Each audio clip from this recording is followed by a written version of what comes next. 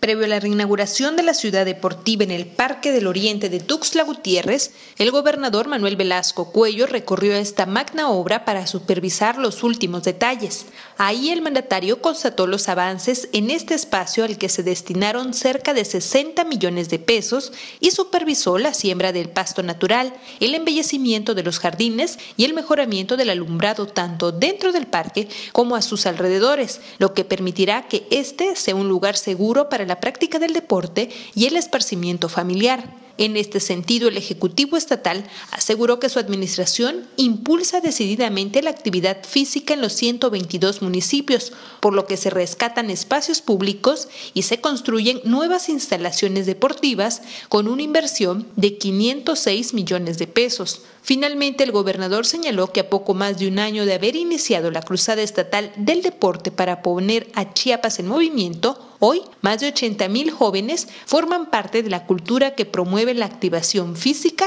y una vida saludable.